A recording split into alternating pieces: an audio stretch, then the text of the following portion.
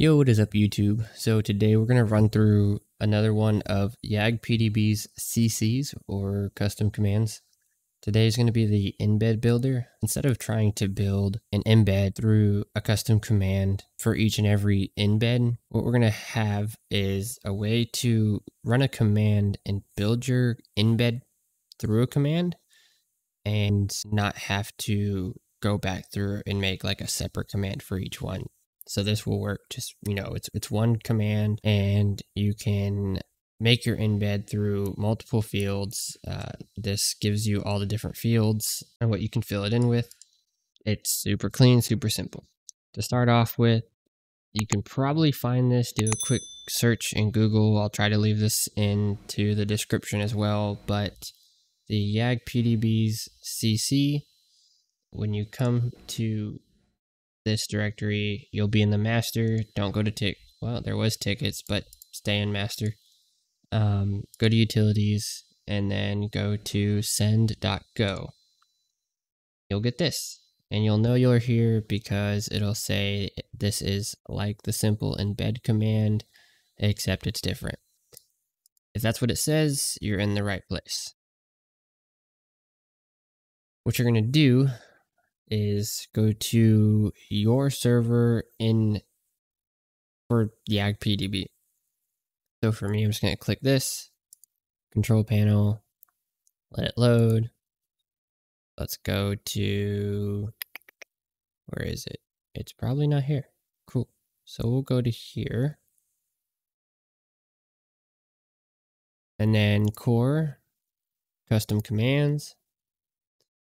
You want to create a new one. I already have it.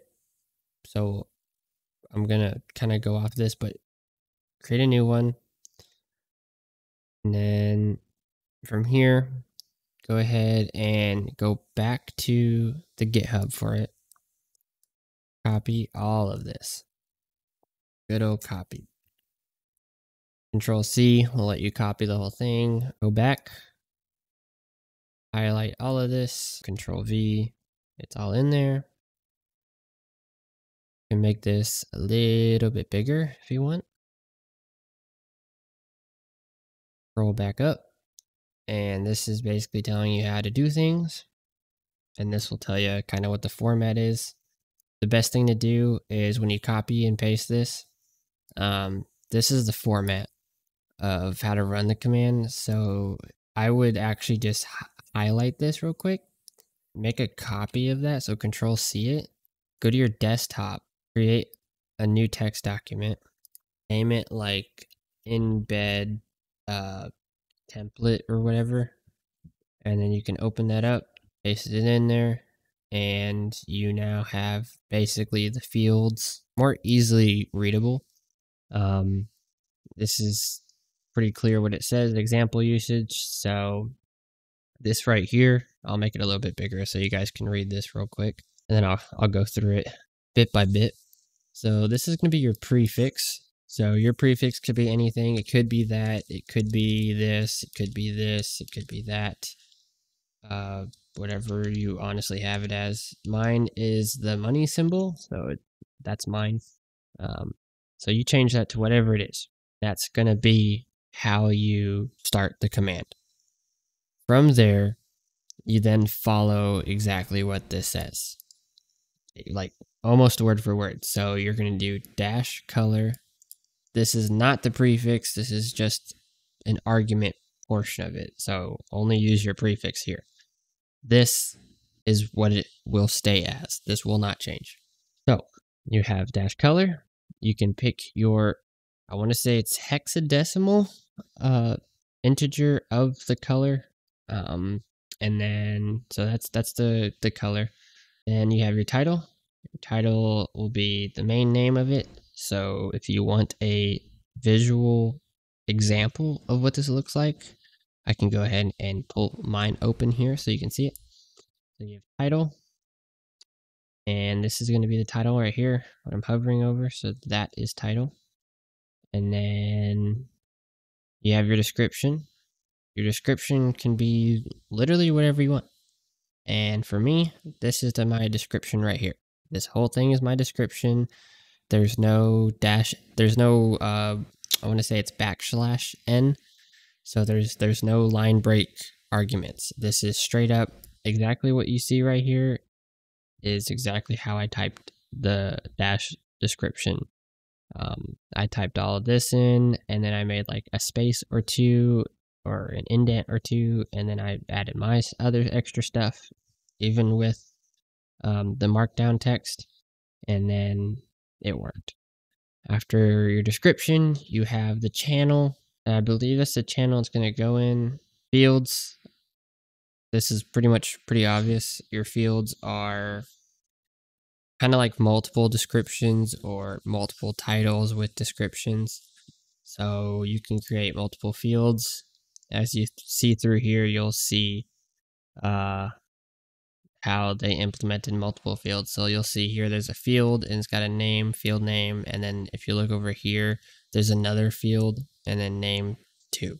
Follow this as you need. What I have here is actually basic. It only uses the command, the color, the title, the description, and then I've even went and used the thumbnails. I think it's a thumbnail. Where is it? It's right here somewhere. Here we go. Thumbnail, your author, your footer, your timestamp. So I definitely use a thumbnail. So it'd be dash thumb, and then you put the link of what the image is. You do an author one if you want. And for footer, you can do slash text, add text in it, or add an icon for it, and put your icon image here. And then you can just do dash timestamp to give you a timestamp. And that's what I have right here. I have my footer, and I have slash text. And for my text, I did mc-nova.net slash support and then I did dash timestamp. That gave me this whole thing. Yes, it also added the dot. We're gonna go, gonna go back, put it back up. It's copy and pasted. And to set this up, you're going to do the trigger type as command. It is set to a command. The trigger will be an embed. Awesome. Embed. That's how you know what your prefix is. Because it's a command which uses the prefix whatever you have to set as. Don't make it cons don't do this. Keep it like that. Unless you really want that, but that's up to you. And let's see. We're good to go. Okay. Cool. So we save that. We can open up Discord now.